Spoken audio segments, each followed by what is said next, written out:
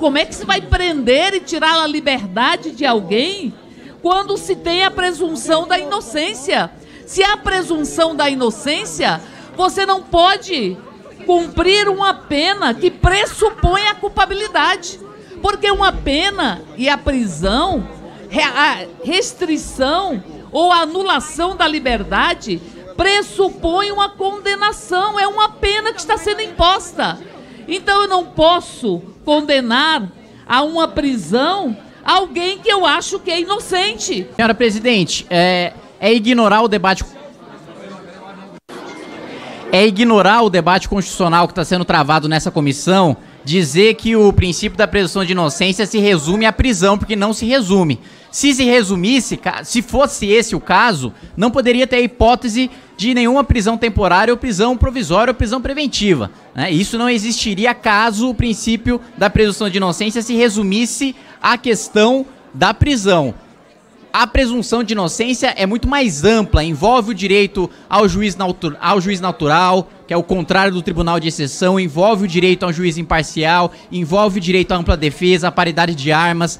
Essa presunção de inocência é muito mais ampla do que o conceito de prisão em segunda instância. E foi colocado aqui que o que a gente defende é a volta do autoritarismo, pois países que têm a presunção de inocência e ao mesmo tempo a execução de pena em segunda instância, como a Suécia, como a Noruega, o Canadá, então são países autoritários e a gente não estava sabendo. Acho que o parlamento precisa então atualizar suas definições de autoritarismo. E outro ponto também que causa estranheza aqueles que dizem que a pauta está sendo votada em cima da hora, está sendo votada de afogadilho, porque muitas outras pautas foram votadas neste ano no parlamento com muito menos debate do que a prisão em segunda instância que está sendo debatida desde a legislatura passada. Isso ou é canalice ou é ignorância, porque está sendo debatido desde a legislatura passada, o debate está maduro, se debate dentro dos termos, inclusive do voto que mudou o entendimento da prisão em segunda instância, que é o voto da ministra Rosa Weber, que é justamente mudar o conceito do transitado em julgado para fins de execução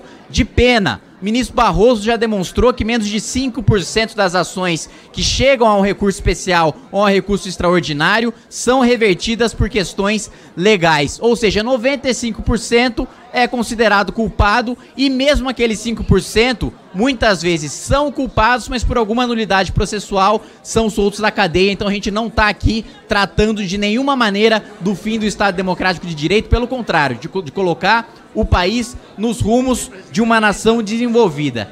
E eu pediria, senhora presidente, nos termos do artigo 185, parágrafo 4 que fosse declarado prejudicado este requerimento de quebra de interstício em razão do interstício ter sido superado às 20 e 34 desta reunião. Portanto, não há necessidade mais de encaminhamento, nem de orientação, nem de votação deste requerimento, porque o interstício já foi quebrado, então o requerimento resta prejudicado nos termos regimentais. Vamos prosseguir com a votação.